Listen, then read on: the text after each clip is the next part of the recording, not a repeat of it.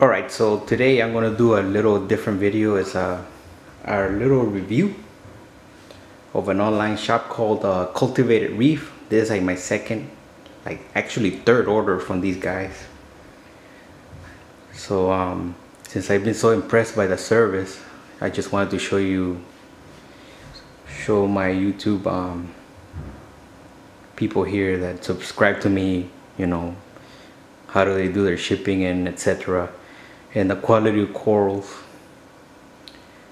I will highly recommend them if anybody's looking for some really nice corals. They always send me some really big mini colonies. And if they're not big, they're beautiful and colorful and pretty affordable too.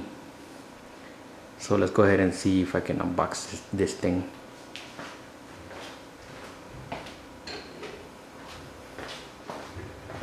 I think it was seven corals that I ordered. Camera's on a tripod so I'm, hopefully it comes out in focus. Yeah I can see it. So, here. Like I said before the shipping practices are pretty good from uh, Cultivated Reef everything has come alive before. Uh, you always get a 20% off if you uh, order within 60 days which is another great deal from them. Let's see can you, can you guys see that? Yeah. Uh,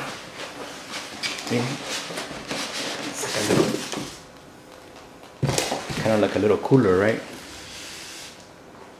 Heat pack inside. Pretty sure a heat pack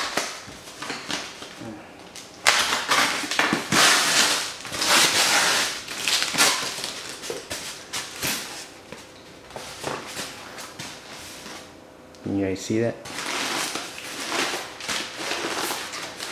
Alright. The heat package from here. Alright. Here we go. Bird of Paradise. I lost this guy last time with my uh, um when I had problems with alkalinity. Bird of Paradise. Tricolor Acro.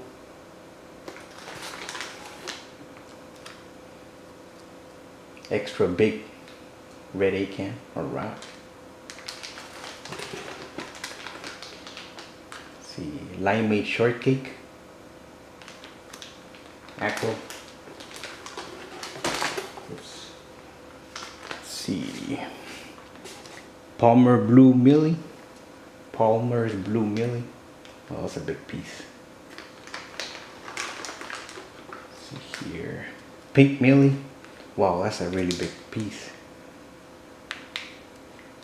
That's a big, see, like I mentioned before, they're, they're all pretty big.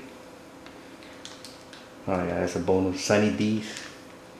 Sunny, D, Sunny D's Poly. Alright. So I'm getting the, um, actually I'm going to do my water change today. So what I'm going to do is use the gallon that I usually get out of my uh, Fusion 10 gallon and, and use it as uh, use it with my Coral RX dip. like I have mentioned before, here are the heat packs. Like I mentioned before, um, you always have to um, dip your corals to avoid any possible hitchhikers. I've never had problems with hitchhikers in um, cultivated reef, but just in case you know you miss something. This is what I'm going to use here Coral RX works pretty well. And actually I need a this is the concentrated one I think it is? Yeah it's uh, four four capfuls for one gallon. So that's exactly what I'm going to do alright I'll probably show a video once the coral has inside the tank Okay, here I am uh, acclimating my corals to the temperature of my tank. Um, I've heard some people drip acclimate, but I don't know. There's mixed feelings about that one, but I've always done it like this and um, I've had pretty good success doing it. I'm going to uh, float them here for 15 minutes. So so they can get uh, used to the temperature and uh, since I just did my water change like I mentioned before I I have my one gallon uh, of um, salt water that came out of the tank mixed already with uh, Coral RX so I can deep dip, dip these guys. Um, I'm happy to uh, mention that um, I can see color on all of the SPS Jesus they look beautiful already. They're all pretty big. Like I mentioned before that cultivated reef always gives you like really big frags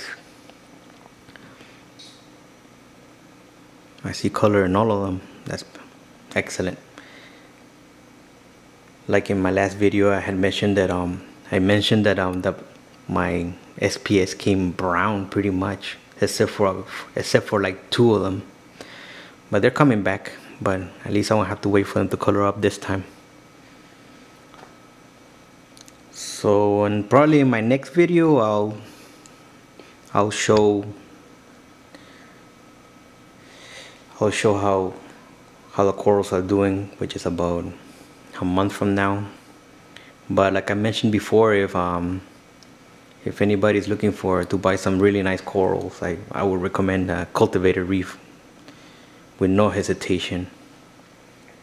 Big shout out to Holly and crew over there at cultivated reef.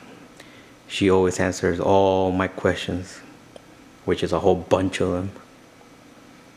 Okay so now I'm gonna dip my corals in my many containers that I got here on the floor but that's boring but I won't show that. So thanks for watching and um so I'll see you in a month. This this is gonna be probably the last time I buy corals for this year. I've said that many times already. But um I think my my 10 gallon is packed to the gills I think I'm gonna put um, there's an Acan in there I'm gonna put it in my, the Acan and the and the Sunny D I'm gonna put it in the in the in the 28 gallon. Because I don't I don't want LPS or or Zoas in here because they grow too too fast. All right everybody. Thank you very much for watching my unboxing video and review pretty much review of, of um, cultivated reef and and their corals Take care, comment, subscribe as usual. Comment, share, subscribe, and thank you for all the new uh, subscribers. And I hope that uh, all these videos help you out, you guys with um, learning. I'm still learning. I mean, I've been in the reefing thing since 2005, but uh, you you never finish learning. It's always a learning process. All right, everybody, take care, and see you in a month.